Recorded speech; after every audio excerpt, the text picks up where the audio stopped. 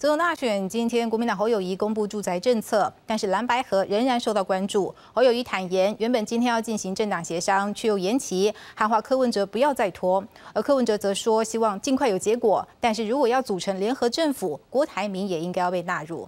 民进党赖清德今天出席了资本市场论坛，表示如果当选的话，要推动能源转型以及深度的节电计划。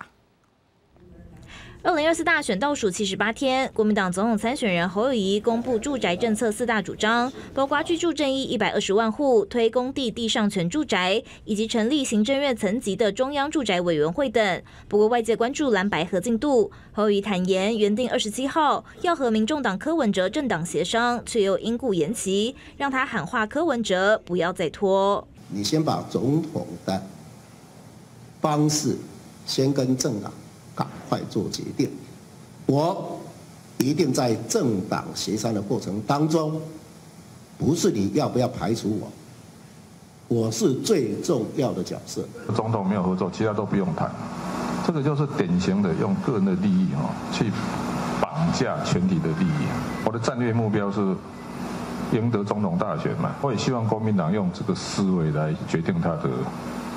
战术跟战斗。柯文哲表示，协商最后期限是十一月二十号参选人登记日，但也希望尽快有结果，并说要组成联合政府，郭台铭也应该被纳入。不过，郭台铭已经连续五天没有公开行程，搭档赖佩霞则走访宜兰罗东连署站，呼吁支持者冲刺连署。他在忙我们接下来要那个送件的事情，比较花多一些的时间在这上。我们一定要。稳定的供电给这些企业，但是我们希望能够用科技协助这些两万多家的公司能够进行节电。